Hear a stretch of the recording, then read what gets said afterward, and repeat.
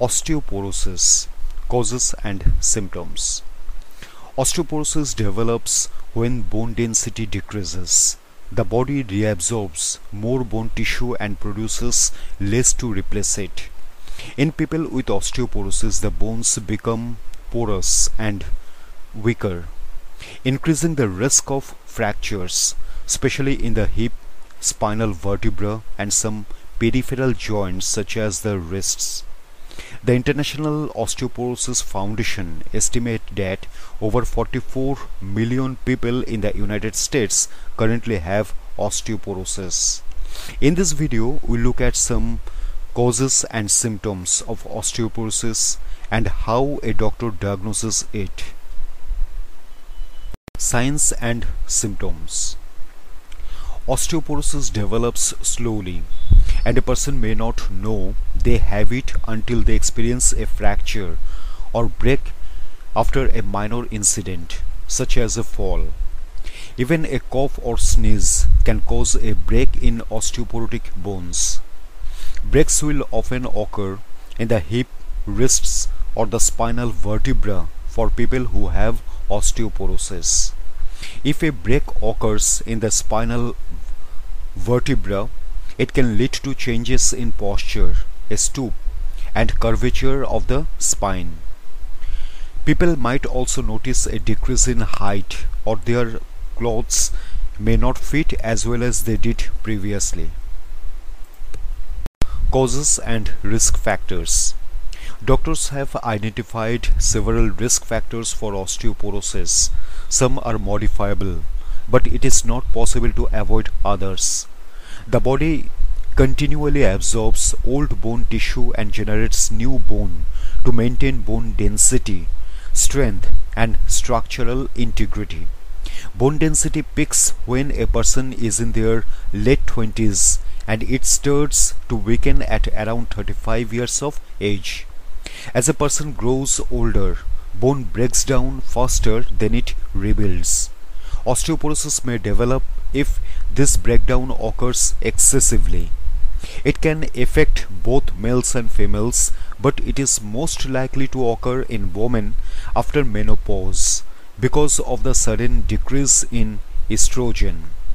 Estrogen normally protects women against osteoporosis. The International Osteoporosis Foundation advises that once people reach 50 years of age, one in three women and one in five men will experience fractures due to osteoporosis. Unavoidable factors. According to the American College of Rheumatology, non-modifiable risk factors include age. Risk increases after the mid-30s and especially after menopause. Reduced sex hormones. Lower estrogen levels appear to make it harder for bone to regenerate. Ethnicity. White people and Asian people have a higher risk than other ethnic groups. Height and weight. Being over 5 feet 7 inches tall or weighing under 125 pounds increases the risk.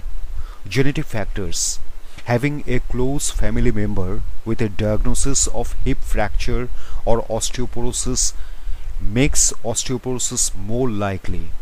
Fracture history a person over 50 years of age with previous fractures after a low level injury is more likely to receive a diagnosis of osteoporosis. Prevention Certain alter alterations to lifestyle can reduce the risk of osteoporosis. Calcium and vitamin D intake. Calcium is essential for bones. People should make sure they consume enough calcium daily. Adults aged 19 years and above should consume 1000 milligrams of calcium a day. Women who are over 51 years of age and all adults from 71 years onward should have a daily intake of 1200 milligrams. Dietary sources include dairy foods such as milk, cheese and yogurt, green leafy vegetables such as kale and broccoli, fish with soft bones such as tinned salmon and tuna, fortified breakfast cereals. If a person's calcium intake is inadequate, supplements are, are an option. Calcium supplements are available for purchase online. Vitamin D also plays a key role in preventing osteoporosis as it helps the body absorb calcium. Dietary sources include fortified foods, saltwater fish and liver. However, most vitamin D does not come from food but from an sun exposure. So doctors recommend moderate regular exposure to sunlight. Lifestyle factors other ways to minimize the risk are avoiding smoking as this can reduce the growth of newborn and decrease estrogen levels in women. Limiting alcohol intake to encourage healthy bones and prevent falls. Getting regular weight bearing exercise such as walking as this promotes healthy bones and strengthens their support from muscles. Exercises to promote flexibility and balance such as yoga which can reduce the risk of falls and fractures. For people who already have osteoporosis, nutrition, exercise and fall prevention techniques play a key role in reducing the risk of fracture and the rate of bone loss. Fall prevention Tips for fall prevention include Remo removing trip hazards such as throw rugs and clutter, having regular vision screenings and keeping eye eyewear up to date, installing grab bars for example in the bathroom, ensuring there is plenty of light in the home, practicing exercise that helps with balance such as Tai Chi, asking the doctor to review medications to reduce the risk of dizziness. Diagnosis A doctor will consider family history and any risk factors. If they suspect osteoporosis, they will request a bone mineral density scan or BMD. Bone density scanning uses a type of X-ray known as dual energy X-ray absorptiometry or DEXA. DEXA can indicate the risk of osteoporotic fractures. It can also help monitor a person's response to treatment. Two types of devices can carry out a DEXA scan. A central device. This is a hospital-based scan that measures hip and spine bone mineral density while the individual lies on a table. A peripheral device. This is a mobile machine that tests bone in the wrist, heel or finger. DEXA test results. Doctors give the results of the test as a DEXA T score or a Z score. The T score compares an individual's bone mass with the peak bone mass of a younger person.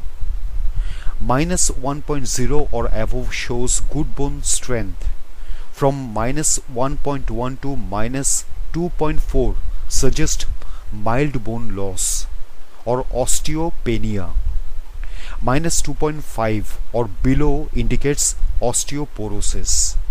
The Z, Z score compares the bone mass with that of the other people for a similar build and age. A doctor will typically repeat the test every two years as this allows them to compare results. Other test An ultrasound scan of the heel, heel bone is another method that doctors use for assessing osteoporosis and they can carry, carry it out in the primary care setting. It is less common in common than DEXA and the doctors cannot compare the measurements against DEXA-T scores. When to see a doctor? Severe discomfort in any of the common locations for osteoporotic bone damage could indicate an unexpected or unidentified fracture. People should seek medical evaluation as soon as they notice this type of pain